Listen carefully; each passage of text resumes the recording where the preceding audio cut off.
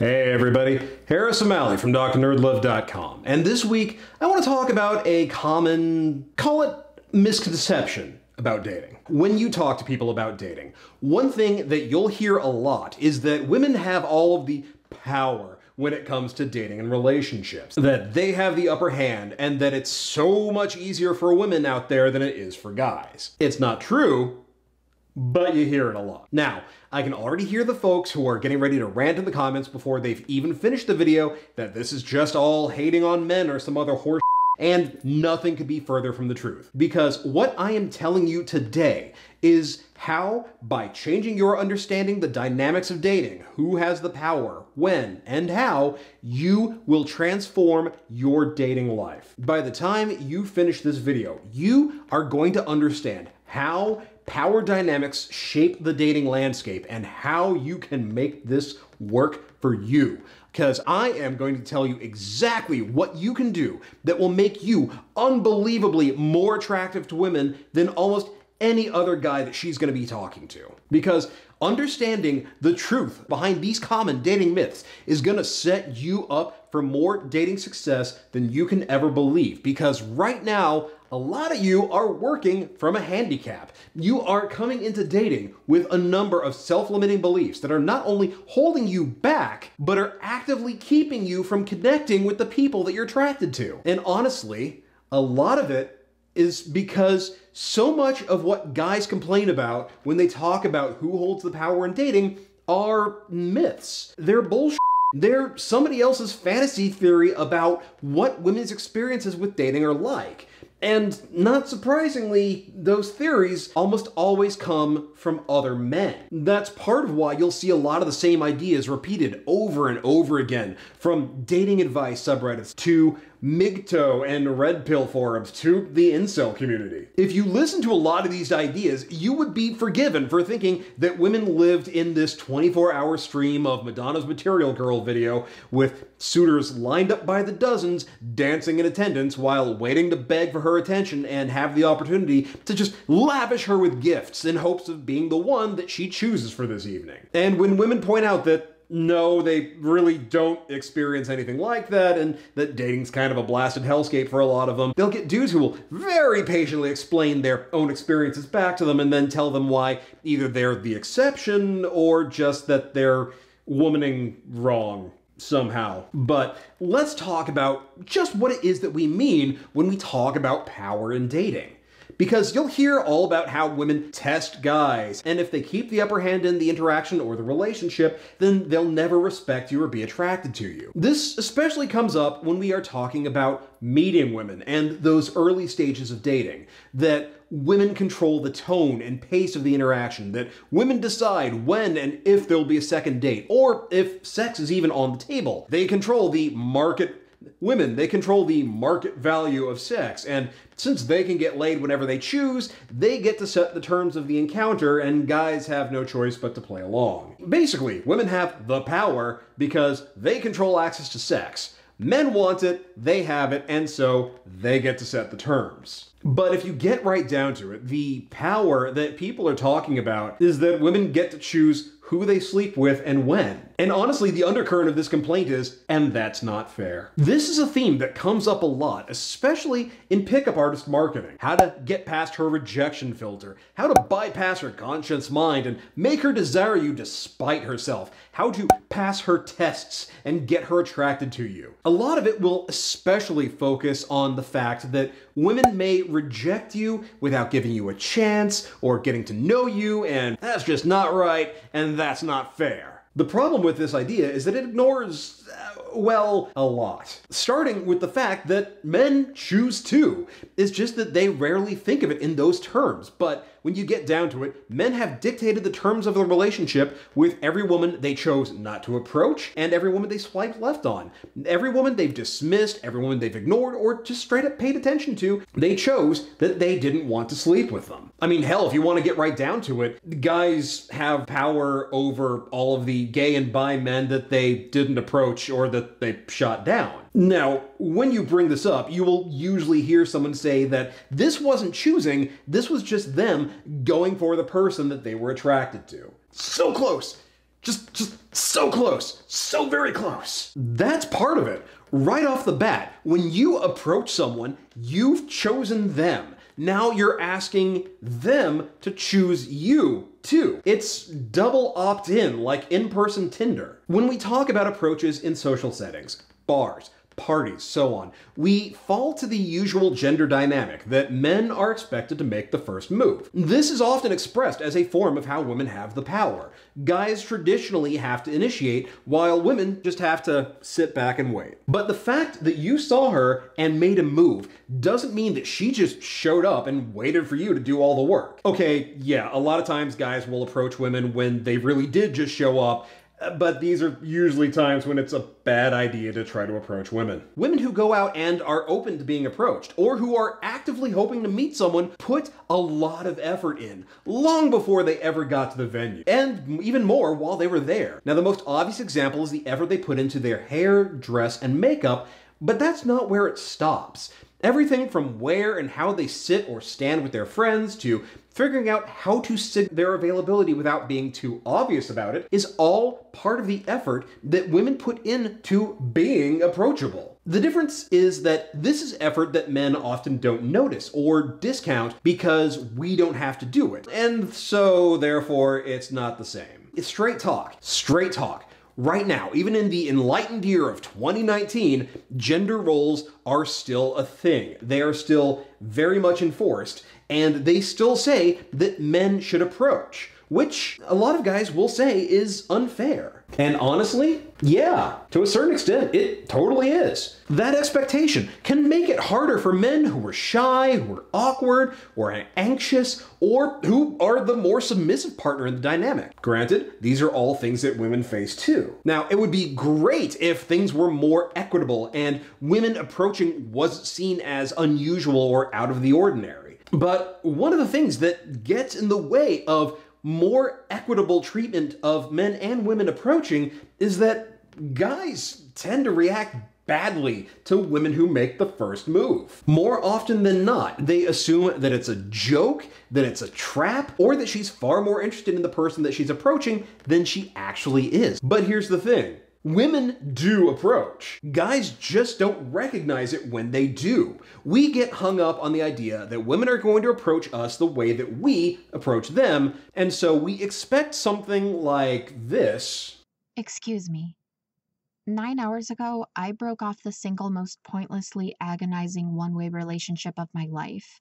I've given the matter serious thought, and all I want now is for some total stranger to nail me to a mattress for the next 14 hours.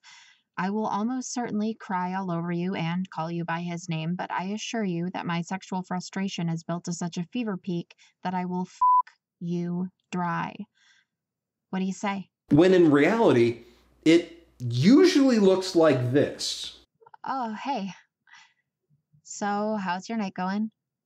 Incidentally, I've talked about how to get women to approach you in a previous episode, so if you're interested, Go check that out. I've linked to it in the show notes, or you can hit the who's it in the corner. Now, the next assumption is that since men are horny and they're doing all the approaching, then that means that women can get laid whenever they want, and thus it's easier for them and they have all the power. Eh, not so much. First of all, there are plenty of women out there who have a hard time finding guys who want to date them. And these are women of all body types, all shapes, all sizes, all heights, all nationalities, all ethnicities, including conventionally beautiful women. But even if we leave them out of the equation, the fact that women get a lot of offers doesn't equate to getting laid whenever she wants. And getting a lot of offers isn't the benefit that you would think it is. It is less of a buffet of hot men to choose from and more just lines and lines of random dudes throwing dicks at them constantly. The fact that they are getting offers does not mean that it is coming from people that they want to sleep with, any more that some of the women who try to talk to men are necessarily women that those men are attracted to. It's a lot closer to being hungry, and people keep offering you this half rotten, soggy sandwich they fished out of the bottom of a dumpster, and they're getting angry at you when you're not grateful, when they're trying to serve it to you, and they're even more angry and you won't take it from them. And this is especially when it's coming from people that she's not into into. I've been approached by women that I wasn't into, and I've had a few who got right up in my business. And I can tell you, that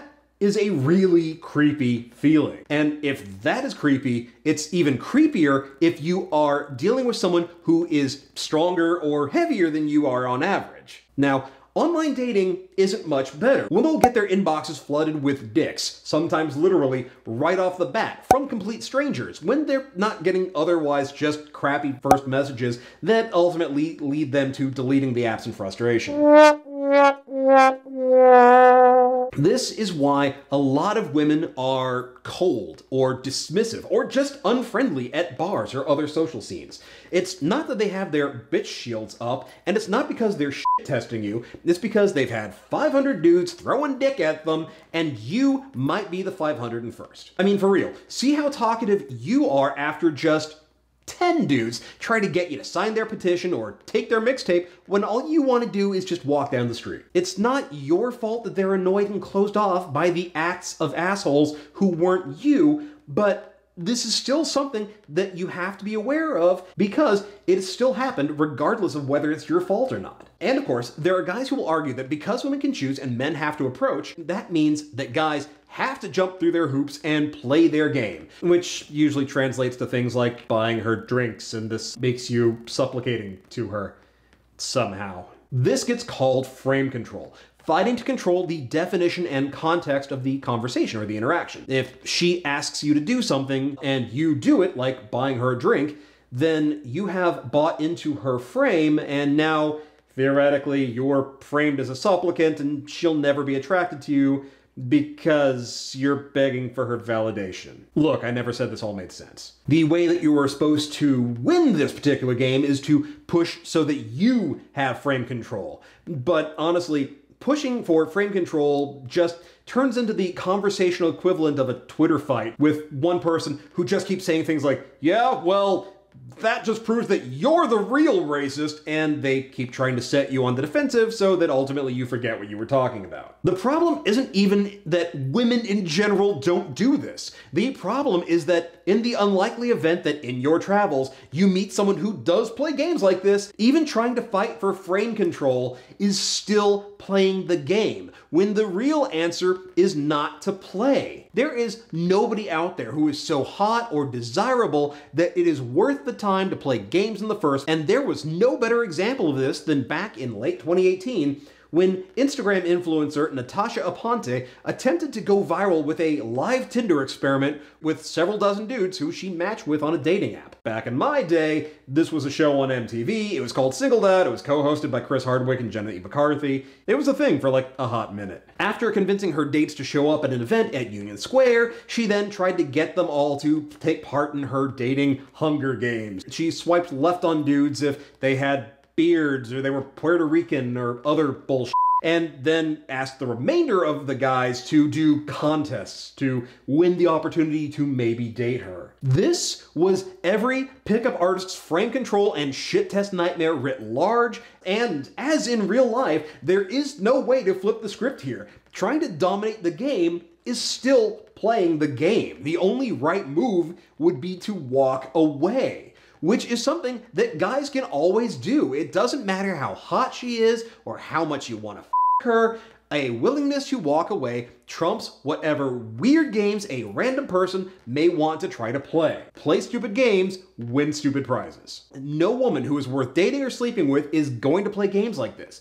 And the ones who do play these games are never going to bang you in the first place, no matter what you do. Straight talk, guys, you are more likely to win the lottery than you are to actually encounter this in real life. But hey, now at least you know what to do. So, if you've been paying attention, you may have noticed that the overriding theme of this is that there is no power here. Everybody has it and nobody has it because power is an illusion, a mirage. It's a shadow on the wall. The power that women have in dating is the exact same power that men have the power to decide who they want to date or sleep with. The only reason why it feels like power over you is because you want something from her and she doesn't want it from you. Because here's the thing all of this power struggle bullshit is just the idea of who ultimately gets what they want, even if the other person doesn't want it. It's about trying to dominate, which is the opposite of what will get you laid. Hooking up with someone isn't about bargaining about market price or playing dominance games. It's about mutual interest, mutual enjoyment, and mutual reward. It's a collaboration not a contest of wills. Even the idea that you have the power by caring less uh, just ends up becoming a new and shitty way of justifying hurting people's feelings instead of actually engaging with them. That's not real power. The real power in dating, the one that will double your success, isn't control, it's empathy. It's understanding that a lot of the reasons why women behave the way that they do in pickup or approach scenarios is that for them, dating is often a giant flaming dumpster of bullshit Putting yourself out there as a woman can be alternately frustrating and terrifying. Between the creepers, the jerks, and the guys who are just flat out dangerous, women understandably will have their guard up when it comes to meeting men. Even when it all goes well, there are still risks. Move too fast, move too slow, text too much, don't text enough. It all feels like a no win situation. And I know a lot of you are saying, well, that's what it feels like for us. Yeah, Imagine how you would feel if someone who you were interested in dating understood that feeling and did their best to reassure you and try to ease those fears. Think of how amazing that would feel. Now imagine doing that for someone else. Because if you're the guy who understands this, who gets that dating isn't this paradise for women, then you are the guy who can ease those fears, who can make them feel better. This doesn't mean being hands off and non sexual any more than it means trying to defend her from other dudes or apologizing for other people's behavior. It just means that you understand where she's coming from, what her experiences are like, what she worries about, and now you can be the opposite of what she's afraid of. Truth is, this isn't that hard. You just have to stop assuming that you already know everything that there is to know. Listen to women's stories and experiences instead of relying on other guys' made up theories. Read some of their books, especially their books about dating. Uh, you can check out my interview with Jenna Birch for a great place to start, and you will have a much better idea of what the right approach looks like. Because that empathy and understanding is like a superpower. It is like secret insight into how to act how to present yourself, and how to stand out from every other guy out there. Because the guy that she's gonna choose isn't going to be the hottest, the richest, or the most alpha. It's the guy who she's attracted to that she feels the most comfortable with, the safest with. Because attraction and arousal can't exist without comfort and safety. Take the time to recognize what the real dynamics are in dating. And that will lead you to having real power and real success.